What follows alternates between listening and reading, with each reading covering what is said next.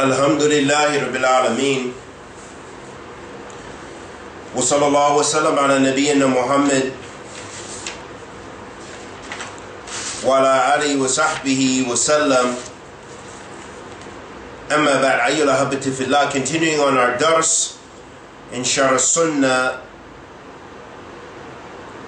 By Imam Barbahari rahimahullah ta'ala We reach the 27th point that Imam Barbahari rahmatullah said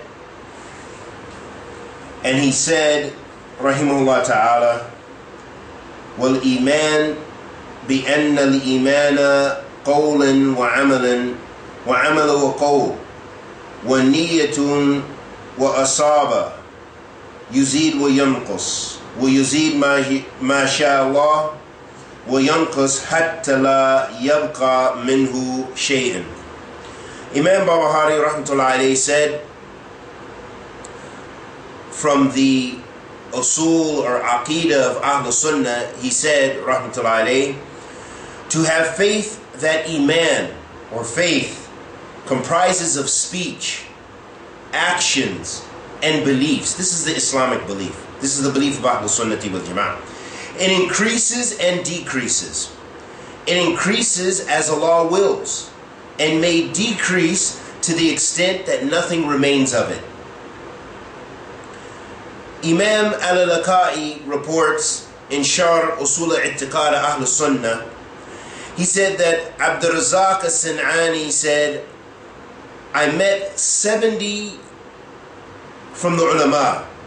From amongst them are Ma'mar, الأوزاعي الثوري الوليد بن محمد القريشي يزيد بن الساعد حماد بن سلمة حماد بن زيد سفيان بن عيينة شعيب بن حرب وقيع بن الجراح مالك بن أنس ابن أبي ليلى إسماعيل بن عياش Al-Walid ibn Muslim, and those I have not named. All of them saying faith is saying and action, it increases and decreases. So this is the aqwal of the Salaf of this ummah. This is how the Salaf they view. And included, of course, in actions, some of the Salaf they used to talk about actions of the heart. And this is what we mean by when we have our i'tiqad or our iman in our heart, our faith in our heart, that's included in actions. Because that's referring to actions of the heart. There are actions of the heart, and then there's actions of the limbs. And then, as he said, uh, and statements of the tongue, of course. So this is the aqidah. That is bayan of the aqidah of Ahl Sunnah. And this is what Imam Barbahari was was doing, rahmatullahi alayhi, and many imams of the Salaf uh, affirm this principle in their books, in their treatises.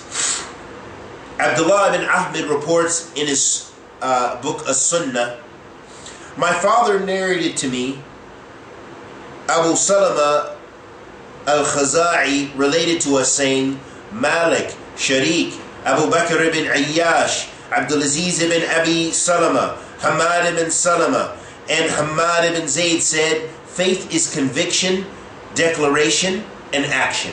So again, those same parts, those same components make up our iman. That iman, iman to Ahl Sunnah Jama'ah is comprised of statements on the tongue. And it's comprised of, uh, of course, the belief in the heart and actions of the limbs. All those things make up iman. Al-Lalaka'i reports that Uqba ibn uh, Al-Qama said, I asked Al-Awza'i about iman or faith. Can it increase? He said, Yes, until it becomes like the mountains. I said, Can it decrease? He said, Yes, even until nothing remains of it. So, Ahabati fillah, this shows us that Iman to Ahlul Sunnah, it increases and decreases, and it's comprised of those uh, components which we already mentioned. Sheikh Rabi bin Hadi al-Madkhali, hafidhullah ta'ala, he mentions in his explanation, He says, مما يجب على العبد إيمان به واعتقاده أن الإيمان قول وعمل واعتقاد يزيد بطاعة وينقص بالمعصية ويزيد بطاعة حتى يصير أمثال الجبال وينقص بالمعصية حتى لا يبقى منه إلا أن من مثقال ذرة وقد لا يبقى منه شيء. So the Sheikh Yuqarr, he agreed and he affirmed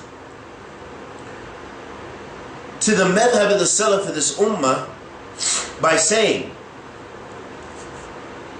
from what is an obligation for the servant is to believe in and have iman and i'tiqad that iman or faith is comprised of statements, actions, and belief.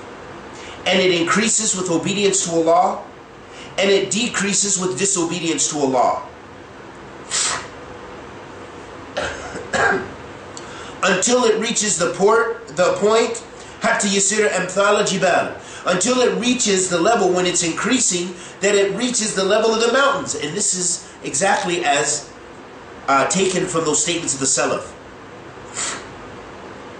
Showing us that the Salafi Aqidah, the Salafi Minhaj, is one with the madhab of the Salaf. It's one. And then he said, and it decreases with sinfulness until that what remains of it is just the the amount of a um, a date palm seed or a small seed and it is possible that nothing remains of it. Meaning that a person can be into so many sins, and it can go to the level where they have no iman, they leave iman. For example, the person he's doing adultery. First, he started off, he fell into the sin. Then, this sin perhaps becomes a habit. The fact that it becomes a habit does not mean this person is a disbeliever, it just means they are doing wicked sins. They're doing the major sins, and it's wicked. But then, if this sin reaches to the point where the person believes that sin is now lawful for them, then they have disbelieved because now they've made istihlal, as Shaykh al-Islam ibn Taymiyyah mentioned and gave uh, explanation of what it means to make istihlal.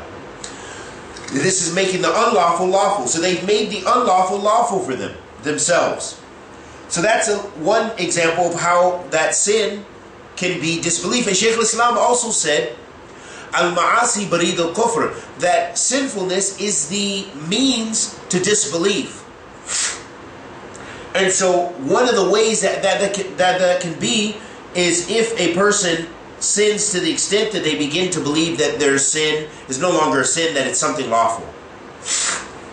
Another situation, ahabatifillah, is when a person is in those sins, and this is what happens to some of our brothers and sisters, and this is why I say never give up.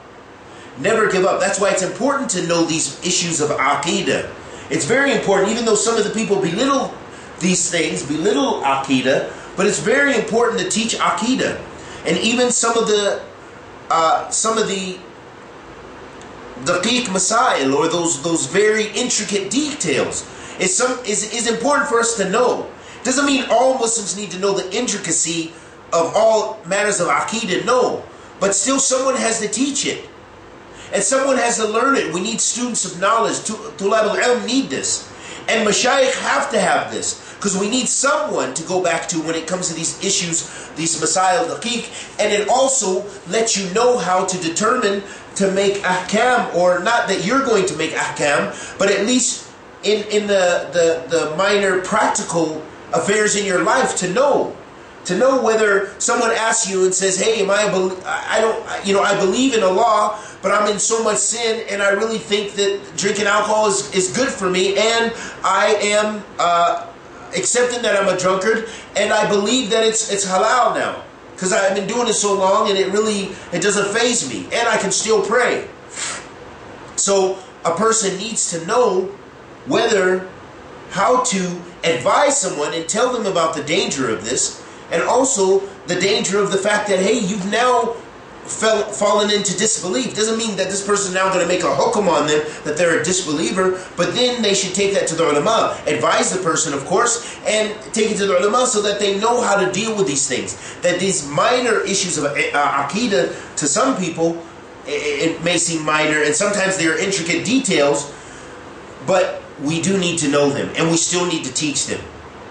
Because the ilm is there for a reason, and the ilm is not is there to be shared.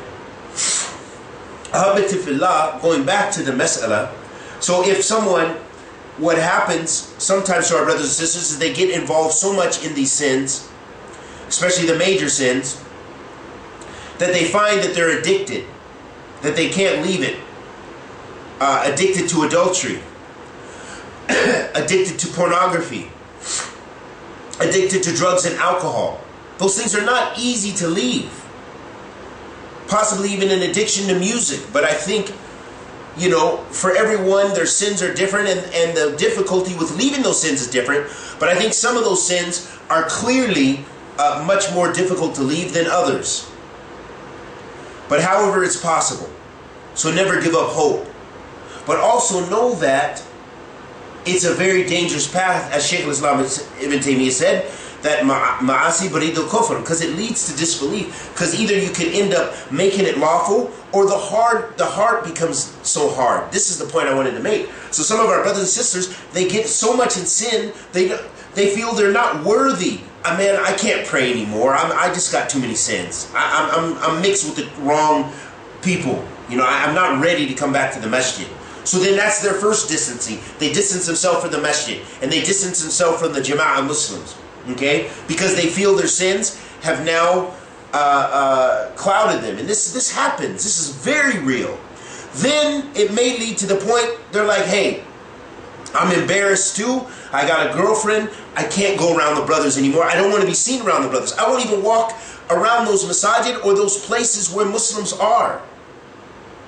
And then it becomes a degree to the degree they don't even give salams to other Muslims because they're trying to be undercover undercover with their sin. Then it reaches to the point that because the heart is getting harder all this time because they're not they're not giving the heart a break by doing some good deeds and following up the good perhaps. This is one case scenario. So then the heart becomes so hard that they begin to abandon everything, praying altogether. First they were at least praying. Then I know many situations uh, of people who have told me, and, and, and in the beginning stages of our Islam, we know the situations brothers and sisters go through. And I know many brothers who did pray. They, they were praying. And they even if they committed, Allah, they were committing adultery and they were doing things like this, foulness and zina, they would right after right after make ghusl and pray rakatain. Even with a non-Muslim woman in the room, and possibly even the sisters might fall into the same situation. Those people who had some iman. So that shows you where iman and and and and and, and sinfulness where they mix. They mix, and it get mixed up. And of course, you want your iman, your your your your your your uh, strong iman to overcome the sinfulness until you can get rid of that sinfulness, and especially the major sins. So it comes to a state, a habitifillah, as we see, as we, as we witness countless times, and I know many people who were Muslim, who are no longer Muslim, especially women, where the heart became hard. And it was from a state of embarrassment. Then it just trickled. Because you begin to put barriers to when then they leave the prayer. So some of those people, at least they were making rakatain after they committed zina and they were making rakatain after they came from the club.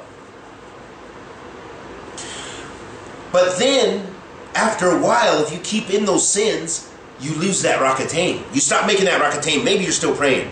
Then after a while, it becomes harder and harder to pray because it's going, wait a minute, the club's getting ready to open. I don't have time to pray Isha and Maghrib. I got to get ready. You know, that becomes a priority. Till they leave the prayer. So then we already know the Prophet ﷺ said, "Man taraka kafara." Whoever leaves the prayer is disbelieved. And the and some of the ulama they say that that is that is the major disbelief, meaning that a person who no longer prays is a disbeliever. And some of the ulama say they're a wicked sinner. They're just in major, major sins, and they need to come back to Allah subhanahu wa ta'ala. Ahabati fillah, the point being that ma'asi, it'll cloud your heart and it hardens your heart to a state to where you you may not even uh, you may go to disbelief. You may no longer do any of the wajib. You leave the wajibat and you engage in more and more and more haramat because it becomes easy. Because if you stop praying, what's left after that? That's your relationship with Allah subhanahu wa ta'ala. And if you're doing major sins, then it's easy. Okay, you weren't drinking alcohol, you were committing zina. That was testing you. The test with the opposite sex. Then after that, you began to smoke a little weed because hey, you've already given up on prayer. You you kind of want to reminisce on the old days, so you begin to smoking weed. Now you've got two, you know, more covering of the, the heart, and it shows us that the the uh, the uh, the heart that the heart is very important, and it's a very important part of the iman. And the Prophet ﷺ said, "Ala When he was talking, he said, "Inna fi jizn mudghatan." Fi the فإذا صلح صلح الجسد كله وإذا فسد فسد الجسد كله ألا وهي القلب The Prophet ﷺ said, in the body is a morsel of flesh. If it, uh, if it is healthy, then the whole body is healthy. If it is sick, then the whole body is sick. Verily, it's the heart. So that's that's what that's the case uh, of, of uh, for some of our brothers and sisters, and that's what happens when we allow that sinfulness to overtake us.